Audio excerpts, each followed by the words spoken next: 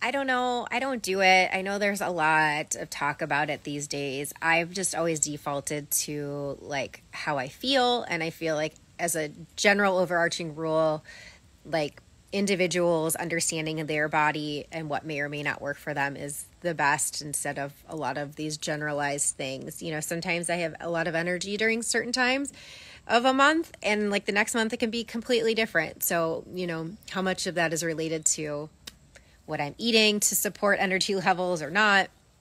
But with regards to your pelvic floor, um, you might notice changes in strength or increased symptoms around different times, like ovulation or during your cycle, due to um, decrease in estrogen and cyclical changes with hormones. Therefore, in those situations, you might make different choices of exercise based on that, or you know, use of a pessary during certain times to minimize symptoms.